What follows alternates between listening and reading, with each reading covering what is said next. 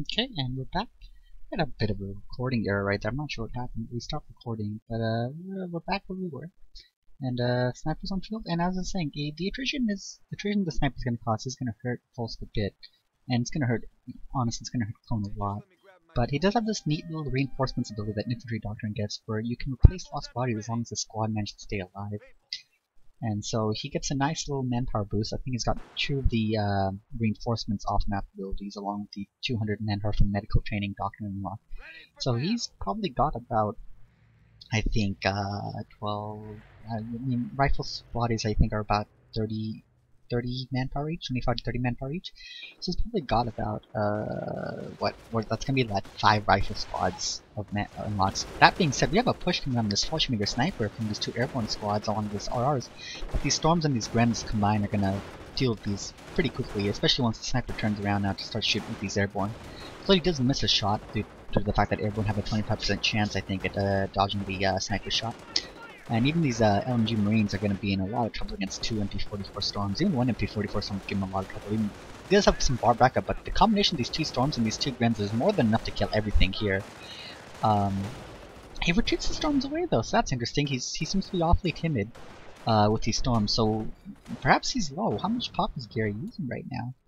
Uh, I don't see why he'd be... You know, he's at 27 to 39 pop, so I can only assume that he's to run low infantry, so that would explain why he's a timid with engaging those stormtroopers. Um, what's Rug at? Rug's at 12 out of 40. Oh, he's calling something on though, so uh, that's okay. As you can see, he's at 45 pop. Um, here's here's something to say about that though. When you've got this much pop and you and you played for so much field advantage early on, uh, even having good field advantage and having high population, if you don't use your population, it doesn't do you any good. It's it's just it's not a viable strategy to lose bodies to get field control and then not take advantage of the population that field control gives you.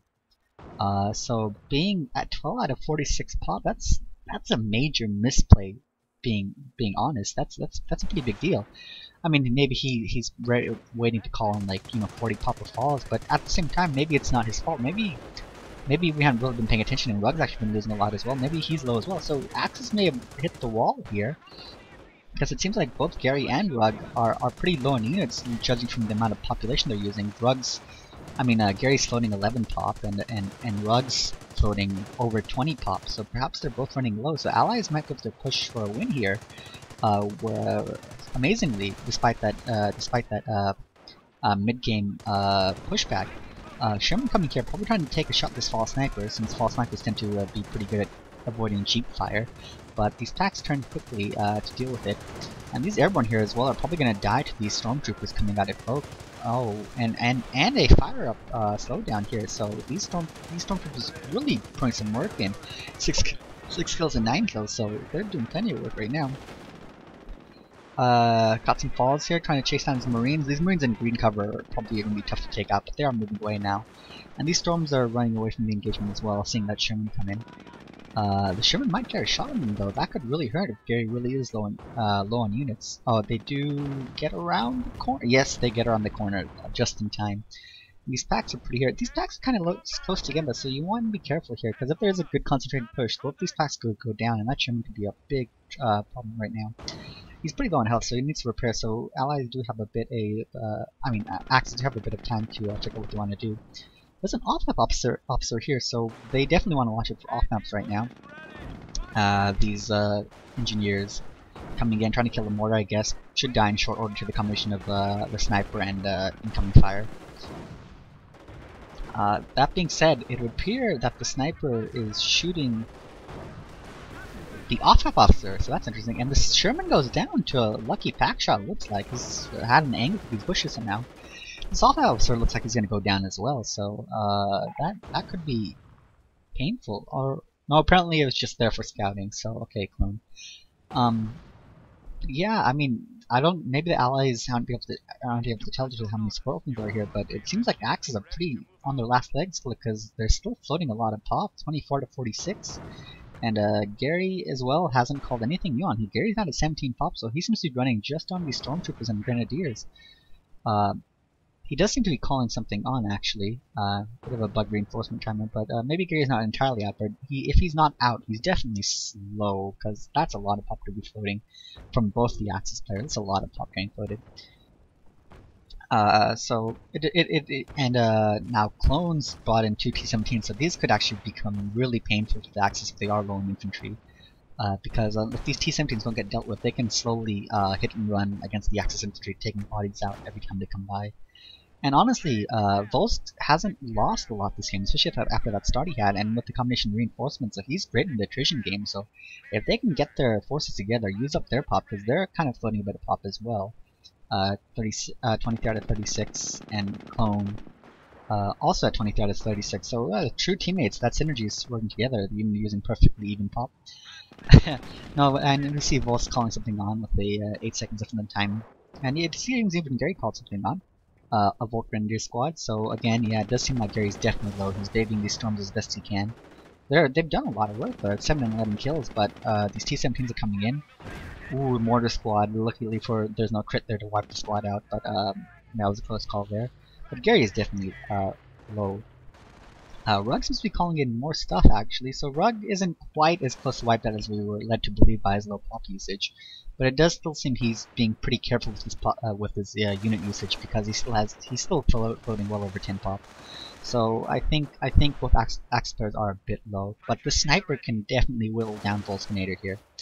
Uh, and if not Volskinator, uh, definitely uh, Clone Troopers, because Clone Troopers is using a lot of high manpower, high munition uh, units uh, in this company, so Clone's probably more prone to getting attrition out by the Sniper than uh, Volskinator is.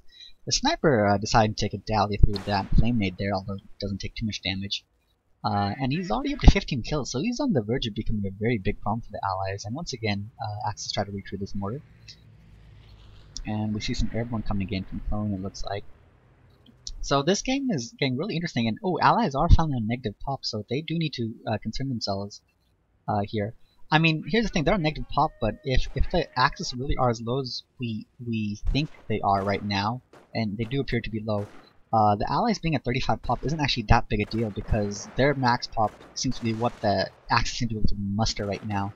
So until the allies get down to about 30 pop, uh, Axis really haven't gained any advantage from that field control they had in the in the uh, early mid game. And these T-17s wiping out this squad here. Two Pioneers on for Gary as well. So yeah, Gary definitely seems to be running low. So it looks like it's going to be up to Rug. But Rug, looking at his pop usage, again, still at 33 out of 46, seems to be low as well. So I think uh, I think the Axis are trying to play a mind game with the Allies, keep their stuff all together, and make the Allies think they still have more than they actually do, because the Allies seem to be really scared of pushing up any any any small amount uh, right now uh, to try and take out the sniper, which is up to 19 kills now, so it's definitely becoming a problem for the Allies. So, and, and Axis, I mean, maybe if they could start capping a bit more here with one of these Fallschirmjäger squads would help. There's a cheap rush coming from the side, so this Fallschirmjäger sniper needs to be careful from this cheap rush. And, oh my days! Okay, turns out you don't need jeeps, you don't need infantry rushes, you just need ATGs to kill Fallschirmjäger snipers. I'd really like to see the stats on the likelihood of an ATG killing a Fallschirmjäger sniper. That is pretty amazing. But now we see the allies pushing in. That sniper's gone down, a pack's gone down to a mine it looks like, and the other pack's off to the side. So this T-17 is going to have a little bit of fun quickly uh, before this pack turns around.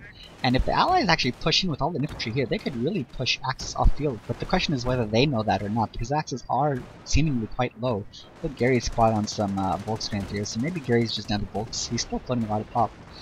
But yeah, uh, what's Rug's situation? And Rug, yeah, he's at 24 to 46, and he's not calling anything on yet, so this might be the, the, the, the, last gasp for Axis. If they can't hold off this offensive, they might be up the game right here. But they've got, they seem to have been able to concentrate some firepower. This Marine squad's getting to, uh, being made to, you know, uh, daddle off. And this, uh, this Spar squad can't stay in this house for too long, otherwise it's gonna die down to three men already. Uh, the T-17 does find this uh, Fallschirmjäger here, so they're probably the allies are probably going to finish capping off the sector with this airborne squad here. Uh, that does seem like a waste of an RR though, uh, although that being said, Axis don't seem to have a lot of vehicles on field. There's a Volt Rush coming in the center, so yeah, uh, Axis seems to definitely be trying to make the allies think they have a lot more left than they actually do with these uh, little these uh, group pushes they're doing, which is which is probably good. Uh, trying to pick up this ATG, I would assume, yeah, which is a good plan because they they did lose a pack during that last rush. Uh, ooh, an officer buff coming in on these Marines, so they probably do want to, these Volks at least very much want back up, because while this officer buff is up, you probably don't want to be messing around with LMGs. Um, as they quickly start racking up kills on these Volks Grenadiers. Okay, you're picking up 13, 3 kills right there. Uh, but there seems to be a counterpush coming up from the uh, Axis. Um, and I don't know if they saw the uh, triage that uh, at that point. If they did, they should definitely, if they have a mortar on field, I think they might actually. They should definitely start. Yeah, they do have so they should definitely start mortaring this triage because they, uh, at, at very least, I'm pretty sure Rud knows about what the uh, reinforcements builder can do. A very nice nade there. Oh, and uh, Assault Nades had a cloak and instantly retreated from Volsk. So that was a really nice play there by Axis, forcing off a lot of infantry on field. When you force infantry off, they can't use their reinforcements abilities, right? And more importantly, you force, force that vet off field, right? Because the most important thing about reinforcements is that it can keep vet, uh, vetted squads on the field for far longer, right? So you have strong squads staying on the field for long periods. But now they see this triage, so number one priority from the Axis right now should be to take this triage out, triage out at all costs, and they put too fast onto it, and it looks like the mortar is barraging now. Uh, this officer squad, uh, while not the best uh, uh, squad for offensive capabilities. I'm pretty sure the Axis squad is far better with their two G43s. This squad does have one Thompson and two Garand, so they can put in some work if they find an unsupported squad. So we should be careful. We should watch that officer, see if it gets anything, because there's a lot of vanilla Fallschirmjägers running around, which they probably can beat a vanilla Fallschirmjäger squad in a 1v1 situation. These storms are slowly uh, becoming a real nuisance with 9 and 13 kills, and oh, we see an off-map officer from the Axis as well, so let's see if he's got an off-map as well. He's brought in two at the same time, so either he's doing the same thing Clone did, just trying to bring them on for scouting, which probably won't stay for long. They're probably going to get a slight sight nerf in the next patch. Or he's actually got some. If he does have an off right now, he could really put the pain on this uh, allied rush. We have two vanilla ranger squads with an officer rushing up here. Uh, I'd assume they have some nades or something to take out this MG, which they do indeed. A frangible or it's just a normal pineapple? But this is a big push, and uh, Axis don't seem to have anything to support this. Uh, Gary's down to 15, uh, and and Rug's down to 10 pop, and they they don't seem to be calling anything onto in response to this push here. These are, these are, these are just vanilla ranger squads with grenades pushing here, and they're they're doing they're absolutely wiping the Axis off field. They have an officer buff, but still, uh, the fact that uh, the Axis don't have anything to counter that, that's pretty amazing. I mean, they must be really low. You see that nice use of sprint here to make the uh, Storms with normal speed and cloak. And we have Rug pulling on two Fallschirmjäger squads. These probably could have been on field at least five minutes ago, because he had the pop to call them on, that's for sure. And they eat another pineapple that come down, and this Thompson's gonna come in and probably put some real hurt in these uh. And yeah, it's it's it's that Thompson's running through these Fallschirmjägers easily. These storms come here and they're gonna wipe these uh, uh, uh, out pretty easily since they ignore elite armor. But there's absolutely nothing they can do about this T-17 unless these uh, Fallschirmjägers has some Faust them. And this this squad's down to one man. Uh, 13 kills on each of them though, so they've definitely brought their cost back, that's for sure. But uh, if the Allies don't have any AT to do with these two T-17s, they're they're they're in a lot of trouble. And looking at uh, Rug here with just 10 pop on field, and looking at Gary with just 8 pop, which is probably just these two stormtroopers, uh, it looks like Axis might be out of it unless they can really pull the hat, uh, the rabbit out of the hat and kill these two T-17s. They're they're they're out of luck. Uh, the triage did go down though, so Volsk isn't going to be reinforcing anytime soon. But uh, okay, we we saw okay, this might be a bit of a misplacement for uh, clone troopers here, as he takes one Faust, three Fausts, but it doesn't die. So these these two pioneers are probably going to die pretty quickly to this uh, T-17. And um, I still don't see Axis calling on anything uh, to deal with this. Uh, Gary's just called on two bikes, so he's definitely out because there's no reason to bring those bikes on right now. Uh, Run, are those airborne rugs? It, they do appear to be actually. So Rug actually seems to have a lot left in this company. So I'm really left wondering why he he did not call stuff on when he had the pop earlier. Uh, if these Fallschirmjägers were on when those when those Rangers made the push there, they that that push would have been fought off pretty easily.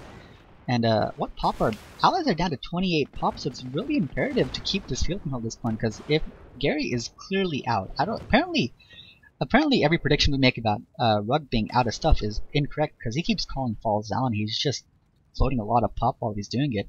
We have another triage coming up from Volsk, so he probably had a so apparently had a backup triage to uh, keep using the reinforcements. Not that he has a whole lot left. That's probably only about five rifle models with 244 manpower, but still, every model counts in this situation, right? But the allies are down to 28 pop, and they're losing one pop per minute.